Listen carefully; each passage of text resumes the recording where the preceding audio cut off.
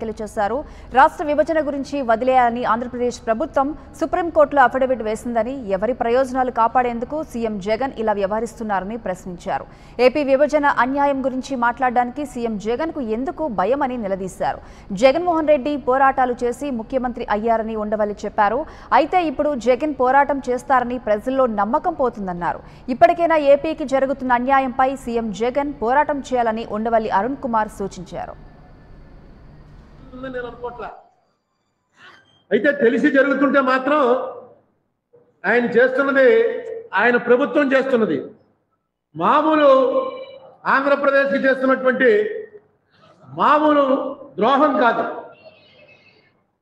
ఎందుకంటే ఆ రోజున మర్చిపోయి ఉండొచ్చు జగన్మోహన్ రెడ్డి గారు. ప్రజలు కూడా మర్చిపోయి ఉండొచ్చు కానీ నేను మర్చిపోలేదు ఎందుకంటే నాకు ఇంకో పని లేదు.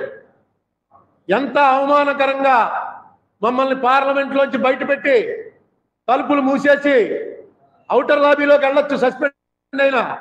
అవుటర్ లాబీ తలుపులు ఎప్పుడు మూసి ఉండరు. బహుశా ఉగ్రవాదుల దాడి అయింది పార్లమెంట్ మీద. అప్పుడు మూసారేమో నాకు తెలియదు కానీ రాయలసీమ